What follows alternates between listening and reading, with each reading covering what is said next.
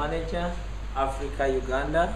I'd like to thank Red Empress for the great support you've given to Think Humanity in a way of saving lives of the people in the IDP camp in Acholi who are displaced in their areas of origin due to wars, but now who are suffering from malaria day and night.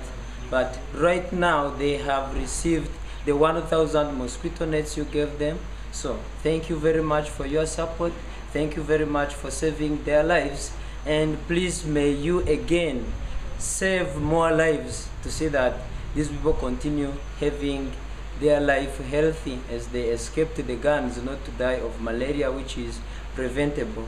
May Lord bless you as you are still donating to us in a way of saving lives to these people. I just wanted to appreciate you and show you that what you've given has saved thousands of lives of people in Uganda here in the IDP camp in Acholi. Thank you very much.